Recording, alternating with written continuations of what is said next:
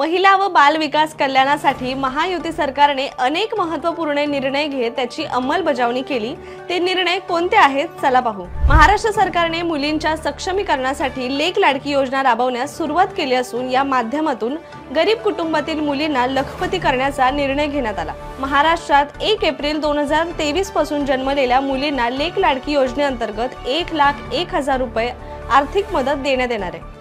नमो महिला सशक्तीकरण अभियानातून त्र्याहत्तर लाख महिलांना शासकीय योजनांचा लाभ देण्याचे उद्दिष्ट असून राज्यातील दोन कोटी महिला बचत गटांना जोडण्यात येणार आहे. यासह मुख्यमंत्री महिला सशक्तीकरण अभियानाअंतर्गत प्रत्येक जिल्ह्यामध्ये किमान एक लाख महिलांना विविध शासकीय योजनांचा थेट लाभ दिला जाईल.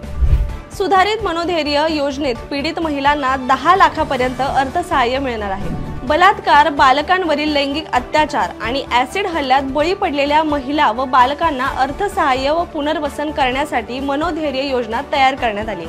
बालकांच्या आरोग्य व पोषणाची काळजी घेणाऱ्या अंगणवाडी सेविका मदतनीस व मिनी अंगणवाडी सेविका यांना दिवाळीला भाऊबीज निमित्त सदतीस कोटी तेहतीस लाख निधी उपलब्ध करून देण्यात आलाय. महिलांना रोजगाराच्या संधी उपलब्ध व्हाव्या तसेच सुरक्षित प्रवास करता यावा. यासाठी राज्यातील दहा लाख शहरातील पाच हजार महिलांना पिंक रिक्षा देऊन ही योजना राबवण्यात आली.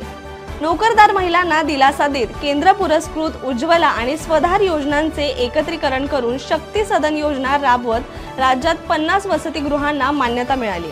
शिवाय वडिलांच्या नावाच्या अगोदर आईचे नाव लावणे शासकीय कागदपत्रांमध्ये बंधनकारक करण्यात आले तर असे अनेक महत्त्वपूर्ण निर्णय महायुती सरकारने घेतले. याबद्दल आपलं काय मत आहे? आम्हाला कमेंटमध्ये नक्की सांगा.